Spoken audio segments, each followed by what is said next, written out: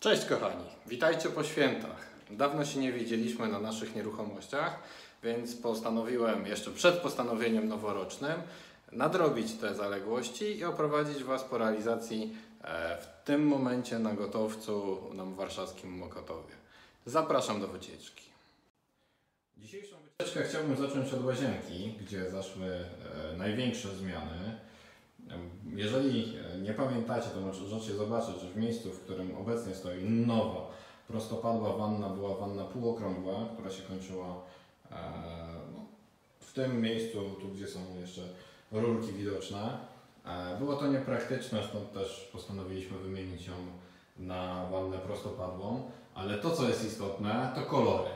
Zobaczcie, to są te same e, płytki, które były brzydkie, e, nieładne, nieestetyczne. Zostały e, odmalowane, zresztą tutaj jeszcze jest zagrodzona, bo świeżo malowana, farbą V33, polecam. E, Efekt możecie sobie zobaczyć e, sami nawet z bliska. Myślę, że będzie to doskonale widoczne. Ściany zostały pomalowane farbą białą, natomiast podłoga taką szarawą farbą i wygląda to naprawdę fajnie, estetycznie i jest to stosunkowo trwale. Do zamontowania został e, kibelek, szafka ze zlewem oraz e. Musieliśmy też przerobić sanitariaty, bo słuchajcie, okazało się, że w mieszkaniu nie były podłączone wodomierze, które sobie e, bardzo długo na nas e, czekały. Więc lećmy dalej. Do kuchni może nie będziemy zaglądać, bo w kuchni się tak co do zasady nic nie zmieniło. Pokoje są praktycznie wykończone, ściany są na gotowo. Brakuje, podłoga jest wykonana, brakuje tak na dobrą sprawę listew, które czekają na montaż. No i oczywiście zakup mebli. W największym, tym 12-metrowym pokoju jest dokładnie e, tak samo. Ściany są zrobione na gotowo. Brakuje tylko listew, które tutaj sobie grzecznie czekają na montaż. No i troszkę e, żałuję, bo e, chciałem początkowo zostawić te meble, bo są w dobrym stanie technicznym.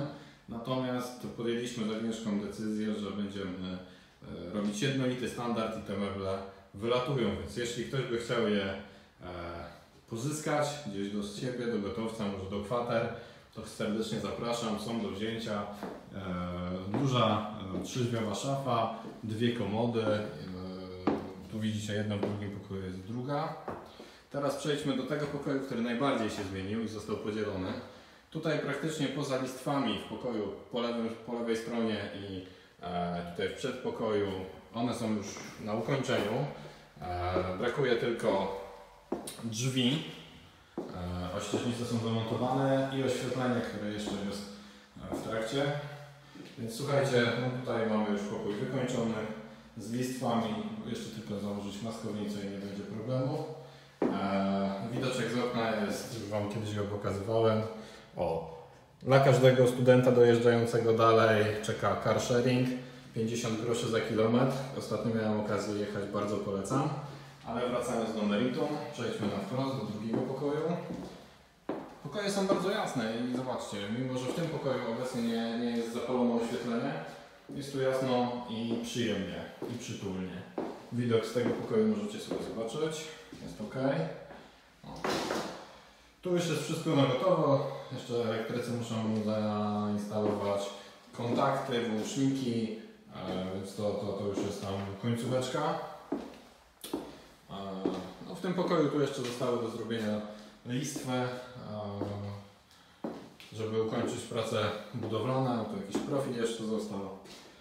I to tyle, słuchajcie. No, prace postępują. Mam nadzieję, że skończymy to gdzieś do 15 stycznia już na gotowo, żebym mógł Wam zaprezentować co i jak. E, To koniec dzisiejszej wycieczki na Mokotowie. Jeszcze czeka mnie odwiedzi- czekają mnie odwiedziny na Ostrobramskiej.